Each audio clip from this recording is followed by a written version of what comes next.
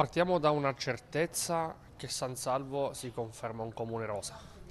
Si conferma un comune rosa ma soprattutto un comune di centrodestra, cosa importantissima per la nostra provincia e per la nostra regione.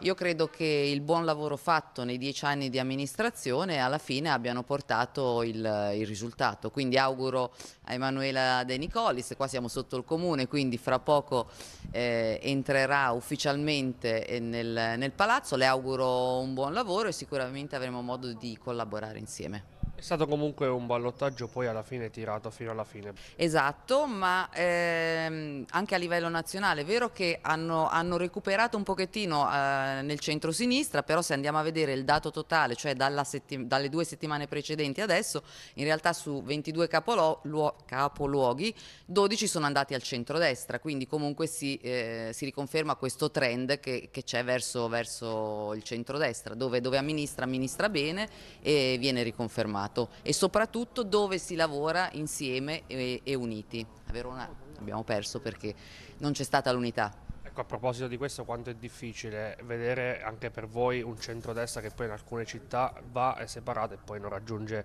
eh, il risultato?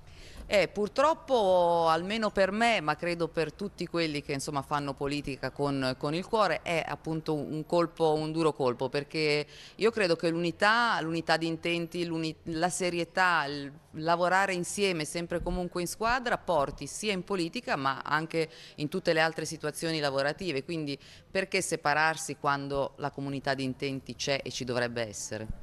E consigliere regionale, allora eh, proviamo a proiettarci al prossimo futuro e un messaggio anche al governo di centrodestra regionale. Ma assolutamente sì, l'abbiamo dimostrato uh, dalla Val d'Aosta alla Sicilia, il centrodestra centrodestra unito vince sempre, su tutto e su tutti, per cui non vedo perché dovremmo andare frammentati. Per l'Abruzzo cosa significano queste due riconferme, soprattutto anche quella di San Salvo?